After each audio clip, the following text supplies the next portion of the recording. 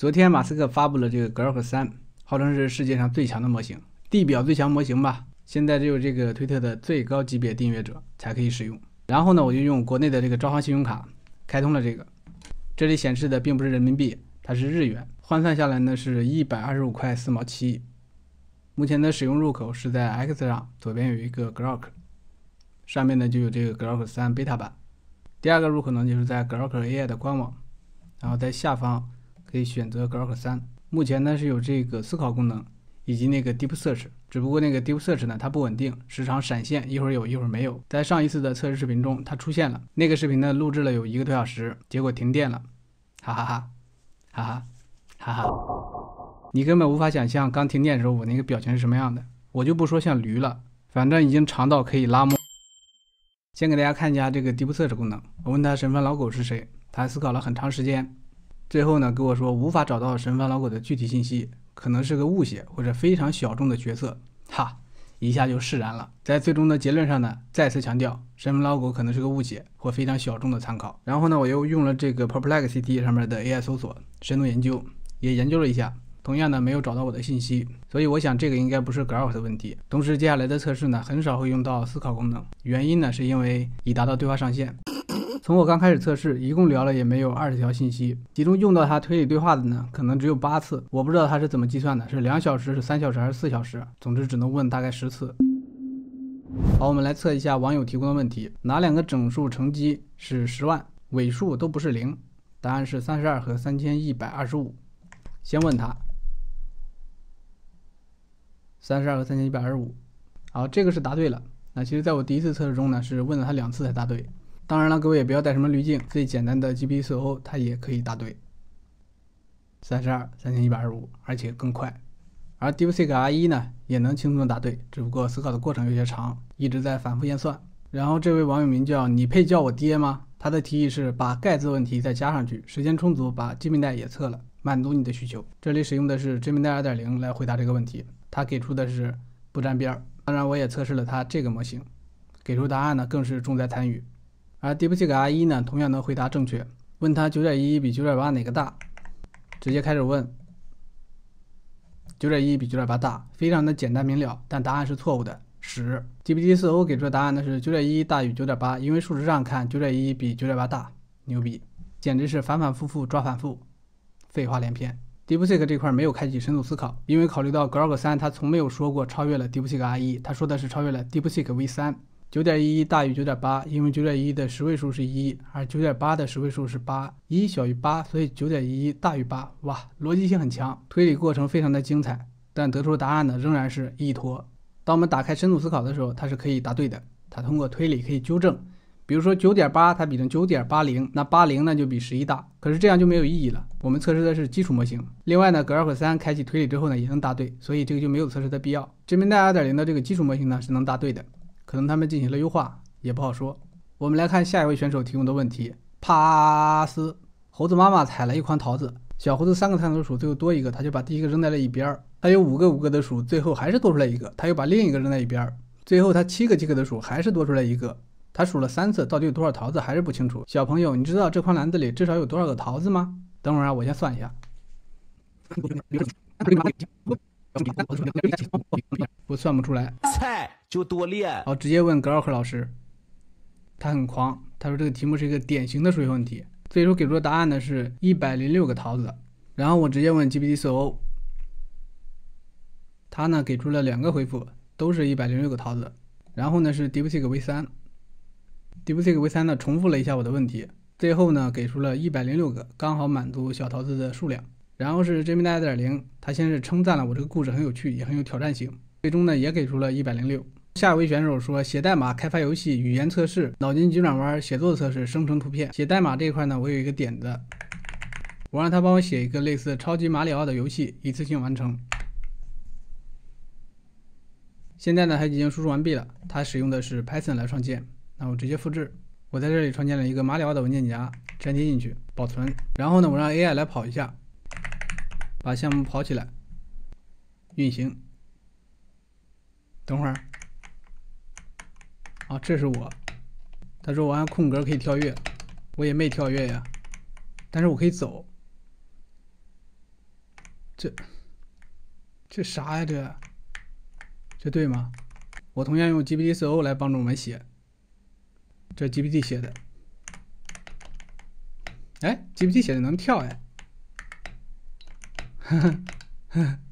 有点傻，我干嘛呢？傻笑，我真是没见过什么好玩意儿了。好，现在 DeepSeek 来写，完了，看起来跟 ChatGPT 差不多。这个是 DeepSeek 写的，哎，怎么踩不上去呢？哎，这这个貌似可以卡 bug。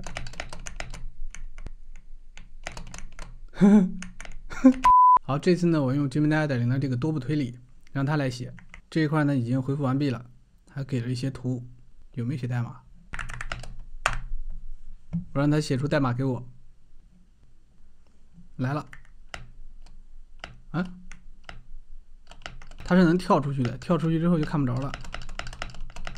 简化版迷你马里奥，这么看来好像难以评价呀。下一个问题同样来自企鹅的，写一个 HTML 实现《黑客帝国》中的代码与效果，复制，粘贴。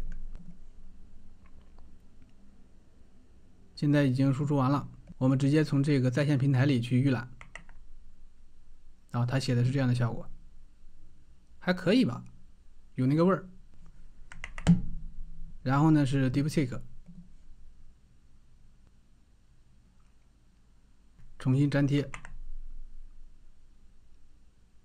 哦，它跟那个还不一样，它是先满屏来一个，然后慢慢这样出现。个人感觉这个更好一些。使用 Gemini 2.0，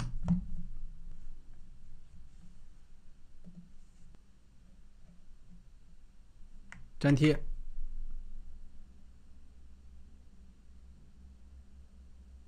跟 DeepSeek 写差不多啊。然后呢是 GPT-4o。我还没有用他们更高级的模型。好，这里 GPTO 也写完了。好，我们粘贴一下。嗯，我靠！我他妈眼睛给我看困了，现在已经凌晨两点了。等会儿再看，给我催眠了都。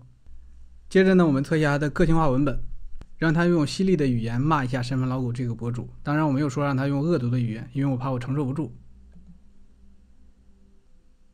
神烦老狗这个博主真是网络世界里一颗内容空洞的，像整天唧唧歪歪、自以为幽默、实则 low。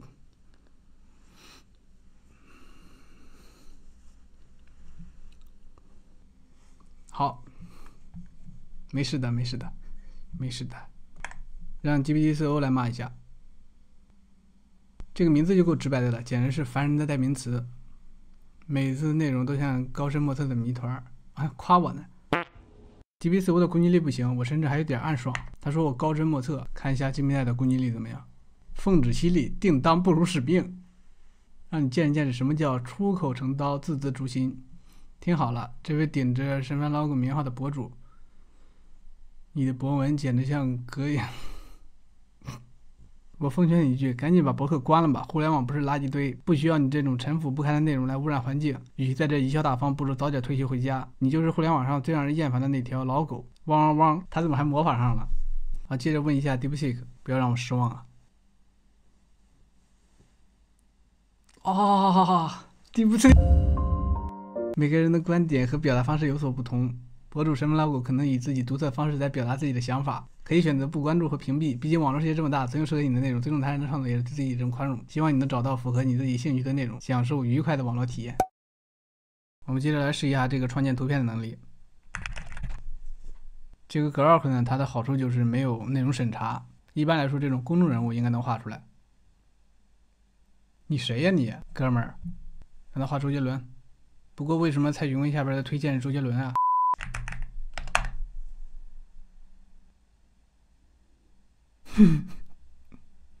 这还是杰伦吗？这。好，这次呢，我们使用它这个推理功能。它冰箱里有十个鸡蛋，我敲了两个，煎了两个，吃了两个，还剩几个蛋？好，思考了五十秒，给出了答案。让我们一步一步来分析。初始情况下有十个鸡蛋，问题是我进行了三个动作。结论是我敲了两个鸡蛋，煎了它们，然后吃掉，因此呢，冰箱里还剩下八个，非常合理。来试试 DeepSeek R1，DeepSeek R1 在思考中呢列出了很多可能性，最终呢给出了答案，还剩八个鸡蛋。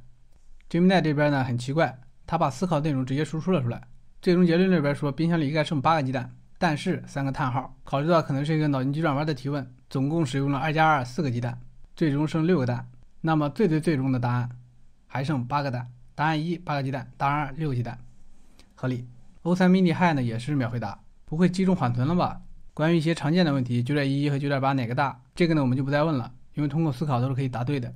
我接下来呢想让它用代码来做一些动画，来结束我们今天的演示。现在我打开了这个思考功能，让 Cloud 老师呢给我出了一个非常难的题，让他来写个代码。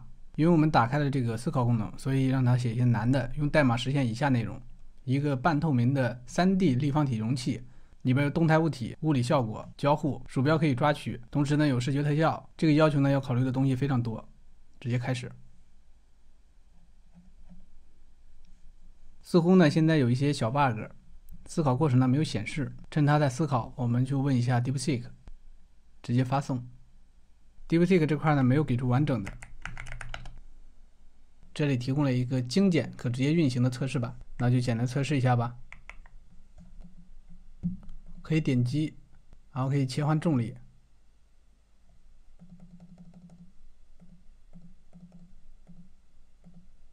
再下来，再回去，再下来。这个 Grok 呢，刚刚卡住了，我们重新问一下。现在呢，就开始思考了。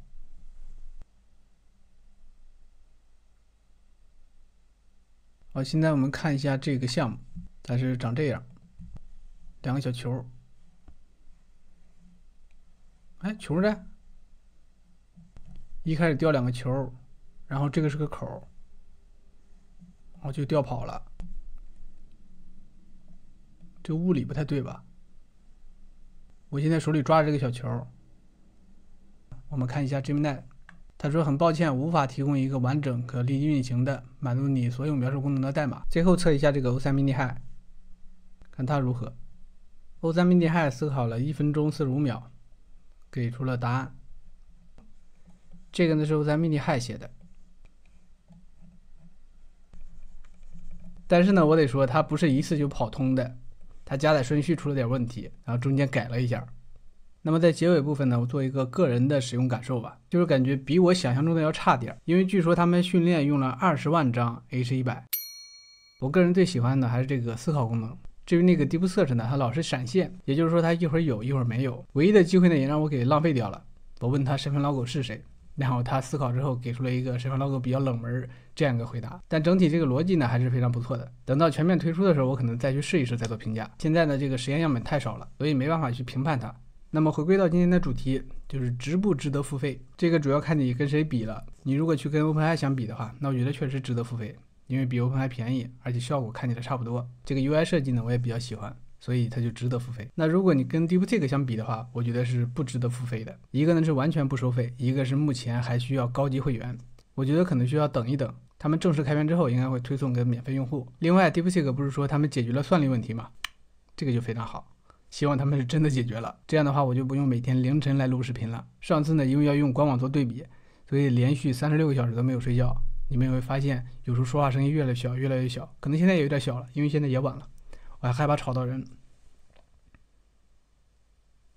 因为这事儿我对象给我生气，也也不是生气吧，我问他他就说烦，但是就是烦，算了不说了，私人生活零人在意。那本期视频就是这样，如果有哪个地方做的不对的，还请各位多多包涵。不过有什么建议的话，仍然可以通过弹幕或者评论区发送给我。如果你喜欢本期视频的话，可以给我点个免费的赞，非常感谢各位。那我们下期再见吧，拜拜。